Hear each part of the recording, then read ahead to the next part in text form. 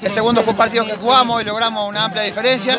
Fue un partido muy difícil, pero bueno, estamos muy contentos, estamos ahí entre los tres primeros, que es lo que queremos, el objetivo común. La recuperación luego de estos dos partidos que asumió la dirección técnica, una muy buena victoria en el interior ante defensores y ahora esta goleada en casa. Sí, eh, bueno, el equipo está bastante bien, han agarrado el sistema bastante bien, que es lo que queríamos.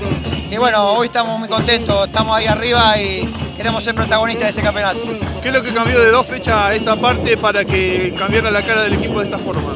Eh, la actitud sobre todo, el sistema nos ayudó mucho, se adaptaron muy rápido, tienen una buena actitud, un buen despliegue, así que estamos muy contentos. ¿Cuáles son los principales cambios de ese esquema táctico en el campo de juego? No, no, por ahí la cobertura de marca y algunos relevos que por ahí no lo hacían.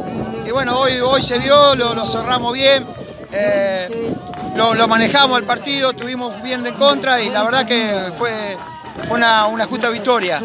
Albert, el, objetivo me imagino que será meterse entre los cuatro primeros en el final del campeonato. Exactamente, exactamente. Ojalá que podamos llegar un poquito más arriba. Eh, si podemos salir entre los primeros fuera buenísimo.